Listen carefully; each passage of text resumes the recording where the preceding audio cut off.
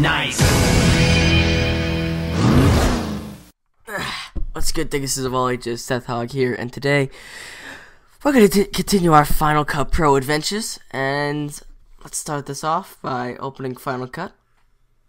And we left off last time learning how to transfer our. I'm going to call this stock footage. On, what did I do to this? Why that looks so dark? We're going to call uh, transferring our stock footage into our timeline. Why does this look so dark? Oh, it was the host migration. Alright, so now we're going to take a segment.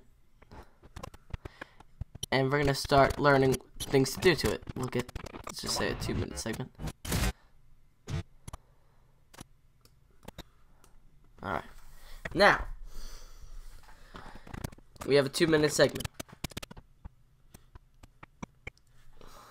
Close that. Today we're just going to be learning these tools and uh, some other miscellaneous things around the screen. Alright. First of all, if you want to add the volume of the clip, you come down to here, and as you can see, there's a little dot, or line, or whatever. You click and drag. The zero decibels is where you start, and you can see like the little lines, they'll follow it, they'll go up, down, up and down. I like to usually keep it at negative 12 decibels.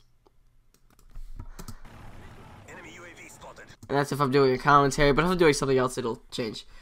Now, see how we're seeing this in increments of... Increments of something? I don't know why I can't see them. Hold on. Where are my increments?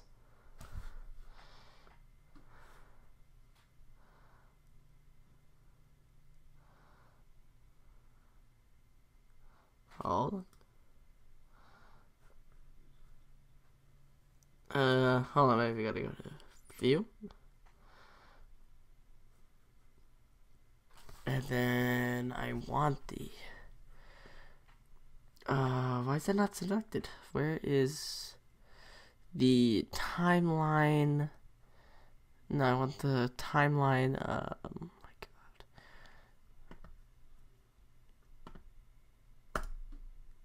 Nope, not that.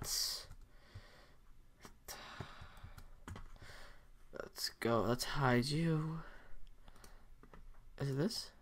No, not that. Oh, usually, if I don't know why mine's not showing up, but you have time. You have increments up here of what your thing is into, and this could zoom the video in, zoom it out. I don't know why it's not there on mine, but that's how you do it. And now, let's start learning these tools. The select, jeez, the select tool is the A A button. So say I'm on the different tool, I just want to go back to the select button, just press A. And now with the select tool, you could uh, select a clip, move a clip, but it won't stay there.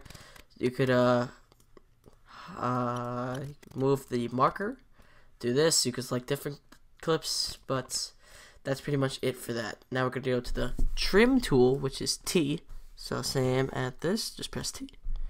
And trim tool is yeah, I'll show you. We got this trim tool. Go here. We made that. We made the left video longer and the right video shorter. Or you can go vice versa. You get the point.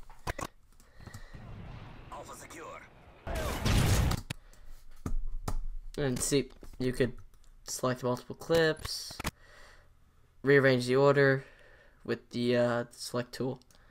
You could do clipping clip, one on top of the other. Alright, and now we have the position tool. This is actually a neat tool. You can actually take the clip and put it wherever you want. It'll create a black space. So nothing is here. But when you get to here, your video starts. Just delete that. And I think it also can move effects or whatever. So say we just had a say we just had that. Positioner tool could move that. So could the uh, select tool. And just delete that.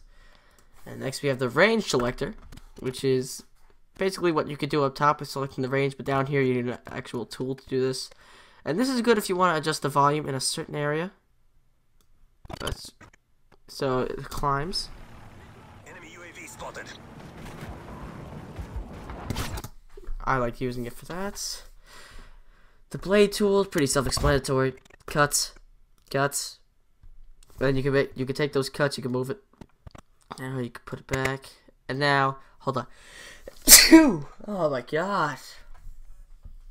Yeah, sorry guys, I'm sick, but gotta make these videos. Alright. Now, another quick tip is if you do if you're on a Mac, which is the only thing this works on, Command Z is undo. And if you want to go forward, it's Command Shift Z and you go forward. Alright, next tool is the hand tool. Really don't even know what this does. To be honest, I never use this, so I assume it's really not that important. I guess this is for... I have honestly no idea what this does. Okay, well, not important. Uh, now, if we wanted to say, uh, let's talk about this. Say we wanted to fade into the video, like, uh, on, let's just up the volume on this, drag this in.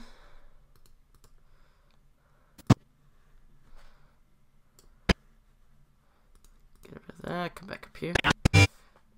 We have we how we have my intro. If it'll play. Nice. The video sound starts right there. We could also have it like this. Let's actually start right here so you can really see the difference.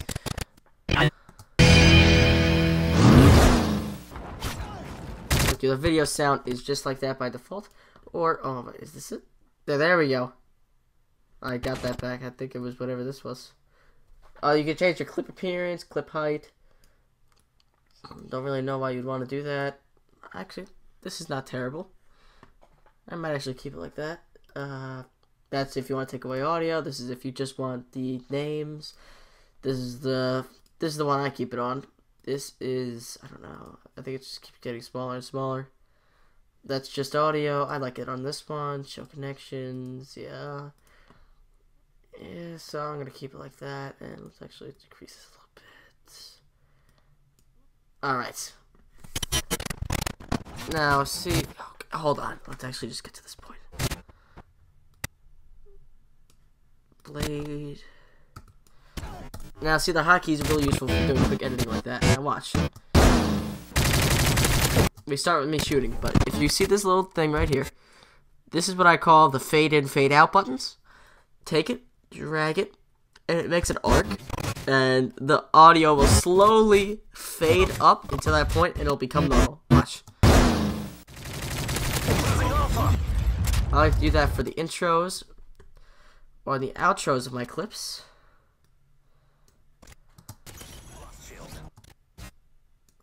You can really hear it. Lost shield. Alpha secure. It gets really quiet. And what else could I teach you from this? Put that from there. And we could also, oh, if you wanted to customize this a little more, go to the little edges. Move that, move that. You could do this like every box. And say you only want to look at projects from a certain thing, just whoop, bring that up, bring that down. And that's pretty much it, guys, just for this, uh, just random tutorial on the basic functions of Final Cut, just to get you started. And we're going to do another one, uh, also today, so stay tuned.